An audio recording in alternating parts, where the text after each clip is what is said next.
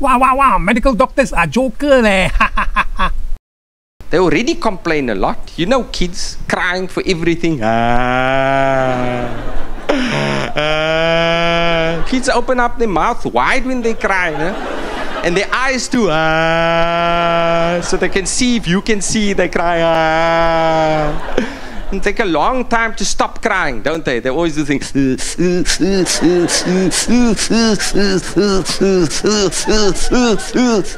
it's your fault, they stare at you. You're not my daddy anymore. I'm gonna get a new daddy from the daddy shop. But the worst cry of all is the silent cry. You know, it looks like a cry in every single way, but there's no audio until much later.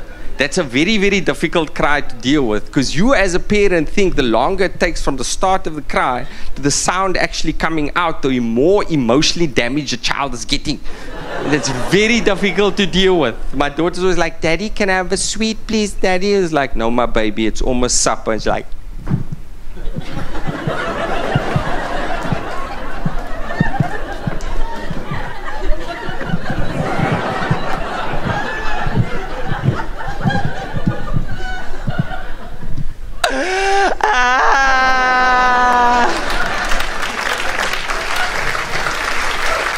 You're like, just take the sweet, just take the sweet. Ah. Thank you, Daddy. Thank you. but it's hectic, dude. It's hectic. You know, like I, I spend a lot of time with my kids. Spend a lot of time with my kids, and I think the more time you spend with the kids, the more stupid you become. I have a hypothesis that your brain undergoes atrophy the more time you spend with your kids. You know, I can see there's some skeptics in the audience. That's ri- ridiculous, Riyadh. I'm more intelligent now than I've ever been. No, you're more stupid. And I'll prove it to you.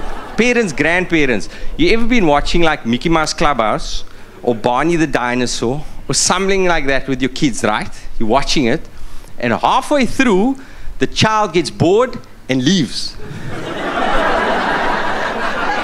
the child is gone, and you find yourself still sitting there.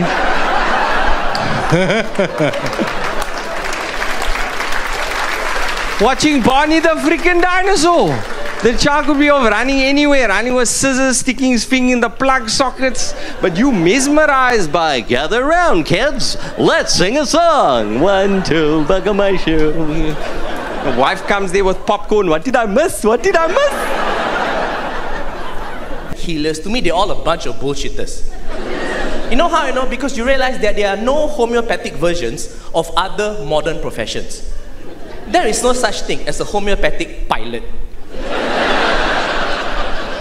Can you imagine the boarding announcement from the homeopathic pilot? Uh, good evening, this is captain speaking. My name is Captain Lim. I'm a homeopathic pilot. I graduated from the Beijing uh, Academy of Astrology, Acupuncture, and Aviation. I've consulted the feng shui charts. Today's flight is very lucky.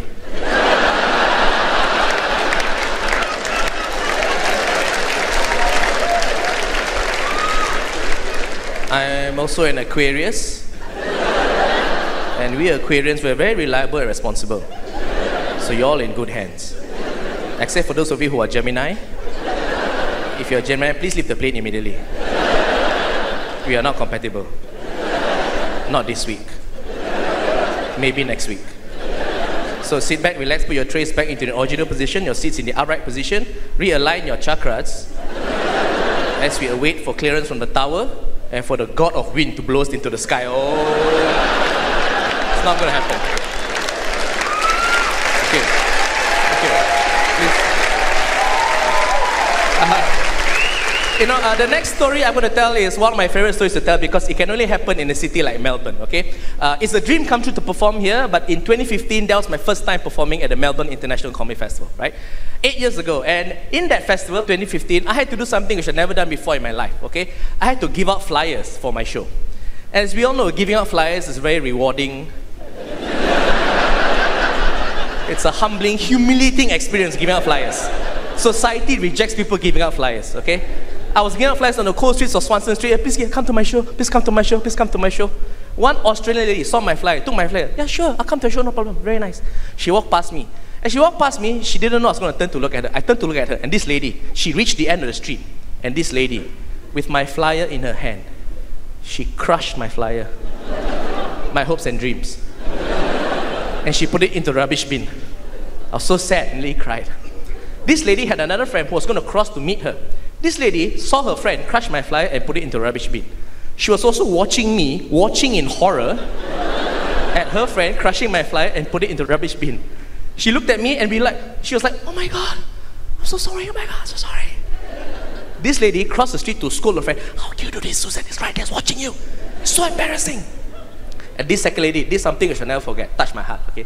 This second lady, with her bare hand, no glove, nothing. She reached inside the rubbish bin and she pulled out my flyer, held it up in all its crumpled glory. I was so touched, I nearly cried. And then she put my flyer into the recycling bin. and then I cried. Melbourne, this has been a dream come true. Thank you so much. I'm Jason Leong from Malaysia. Terima kasih.